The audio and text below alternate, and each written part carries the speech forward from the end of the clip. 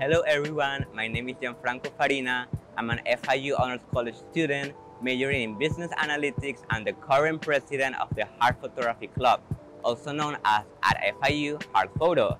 Our club is part of the Honors Education in the Arts program, and since 2017, our mission has been build a community of photographers at FIU, helping everyone grow in their photography skills and learning new techniques regardless of experience level.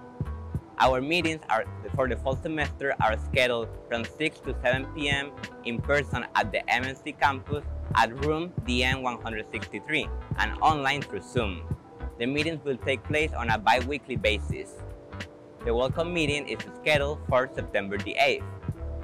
Our activities include Instagram photo challenge, workshops, event media opportunities, and we cannot forget our exciting off-campus photo walks.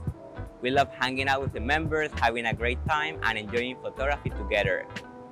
If you're interested on joining this fall, make sure to fill out the Google form on our Instagram bio.